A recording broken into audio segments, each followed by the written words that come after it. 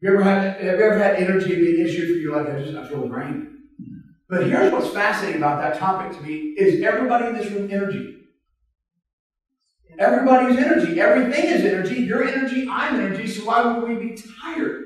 Have you heard this? That your body can handle much more than even what you're doing. Your body is able to handle so much.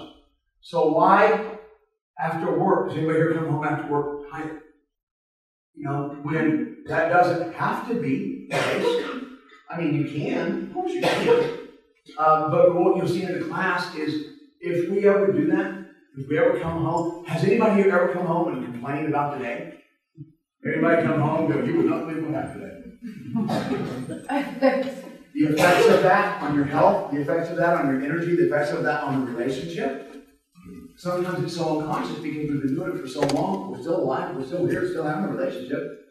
So it must be all okay. But when you see that we don't have to do that, but when you more importantly see what it is that's causing us to do it that is unconscious, it's phenomenal when you see it and then stop it. And just shift that strategy to becoming home and talking about the great things that occurred today. Because our man created great things. Know, creating things in a day that you want to come home and tell your wife about, come home and tell your husband about, versus bad things that are happening. Right? Just a simple shift like that. One gives us a whole lot more energy, a whole lot more fun. Life becomes a whole lot more easy just by making that one little shift inside. But we're never going to make that shift inside about that if we don't first what? See it. If we don't first go, oh my Lord, I do that. I don't even realize it because everybody else does it. Mom's done it her whole life. My mom worked her. And she would come home after work exhausted.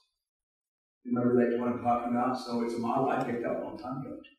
But, and I never intentionally calculated that model like, okay, so coming home from work equals tired.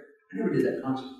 But a, a small child was around that all the time. It becomes a part of the way I operate without even thinking about it.